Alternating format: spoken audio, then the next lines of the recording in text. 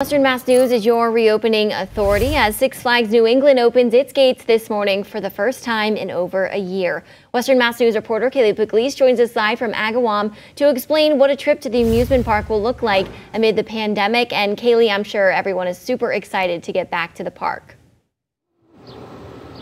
Yeah, Jordan, you can tell the excitement already happening here even before the park opens. Now, later today, the park will reopen for members and season pass holders, and it'll reopen for the general public starting tomorrow. Now, there are, of course, COVID 19 safety protocols in place to keep guests safe, and we spoke with communications manager Jennifer McGrath, who told us what changes are being put into effect, although she says the same old fun will remain. Take a listen.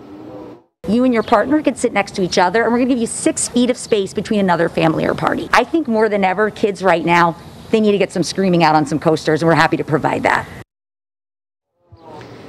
Other safety measures include contactless temperature checks and security readings upon arrival, required online reservations with a questionnaire, and anybody who's over three years old will need to be masked up. Now, coming up in the next half hour, we'll have a little bit more on a local attraction here at the park that's going to be coming in the coming weeks, so be sure to stick with us. But for now, live in Agawam, I'm Kaylee Pugliese for Western Mass News.